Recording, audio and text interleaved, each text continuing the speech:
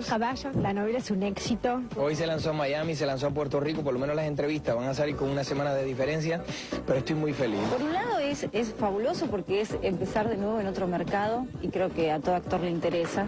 Por nada del mundo me voy a ir de este lugar. Ya sacó la careta de niño bueno. Totalmente, patrañas. Basta de gilipollas y cuál es tu vaina, ya viene diferente. Ah, claro. Me dijeron las chicas que ya se te cayó la careta de que sos el chico más bueno del mundo. Que no sos tan bueno. ¿Quién dijo eso? Pedro, vení, por favor. Vení, pasa.